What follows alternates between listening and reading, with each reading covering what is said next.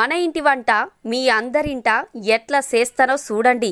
చూసినాక మీ కామెంట్లు పంపేది యాది మరవకండి.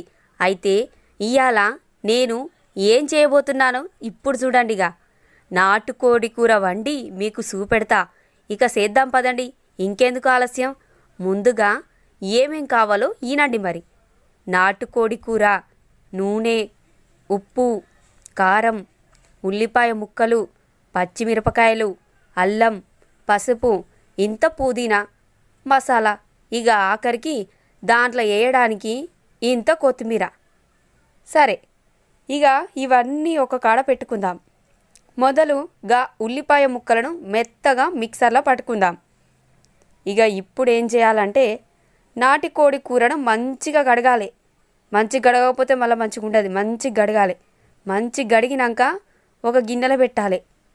పెట్టినాక కారం ఉప్పు పసుపు అల్లం వేసి బాగా కలుపుకోవాలి.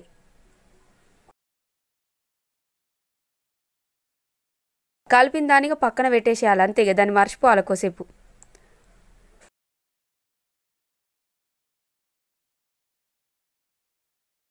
ఇక అయినాక పొయ్యి మీద కుక్కర్ పెట్టి దానిలో నూనె పోసి ఆ నూనె కాగినాక ఈ పచ్చిమిరపకాయలు వేసి అవి ఏగినాక నాలుగైదు లవంగాలు వేయాలి. అవి కూడా వేగుతాయి. అవి వేగినాక ఇక పుదీనాకులు.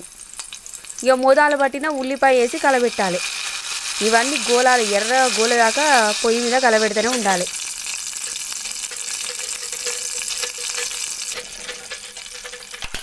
మొదలు కలిపి పెట్టిన నాటుకోడి కూరడు గిన్నెలు వేయాలి. నాకైతే సూత్తాంటేనే నోట్ల నీళ్ళు ఊరుతానే ఎంత రుచిగా ఉంటుందనుకుంటున్నారో. అది తిన్నోళ్ళకే తెలుస్తుంది మరి. ఇక ఆలస్యం ఎందుకు? జల్ది జల్ది వండి తినాలనిపిస్తుంది నాకైతే. ఇక నాటికోడి కూర కలబెడుతూ ఉండాలి. ఎక్కువసేపు ఉడకనియాలి ఇక జర్ర అయినాక కొత్తిమీర మసాలా వేసి కలపాలి. ఇక గంతే అయినట్టే. కుక్కర్ మూత పెట్టి ఓ నాలుగైదు సీటీలు వచ్చేదాకా ఉడకనియాలి